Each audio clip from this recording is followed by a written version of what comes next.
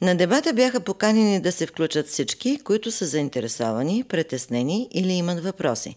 Специални покани бяха изпратени на представители на религиозни общности, които изразиха становище срещу националната стратегия, както и представители на организации и групи, заемащи подобна позиция.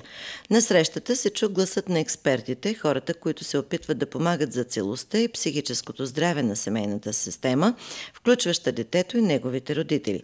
На дебата се разгледаха и част от митовете, свързани с националната стратегия, които се разпространяват лавинообразно по социалните мрежи, медии и между обществото. Обединението на експерти за семейството и детето включва специалисти с дългогодишен опит в работата в социалната сфера във всичките й аспекти. Това са хора, които работят на терен, както и които имат управленски опит в социални услуги.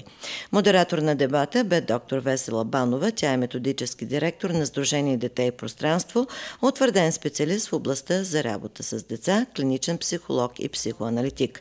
От 1997 година е национален консултант на Министерство на здравеопазването по реформата на домовете Майка и дете от 2008 работи в Сдружението. Националната стратегия за детето 2019-2030 е разработена на основание член 1, алинея 3 от Закона за закрила на детето, от работна група с мандат от Националния съвет за закрила на детето, в която участват представители на всички заинтересовани страни. Координацията по разработването на проекта на документа е осъществена от Държавната агенция за закрила на детето. Проектът е разработен в съответствие с целите и основните принципи на Конвенцията на ООН за правата на детето, а именно недопускане на дискриминация, най-добрите интереси на детето, право на живот, оцеляване и развитие и право на детето да бъде чуто и неговото мнение да бъде взето предвид.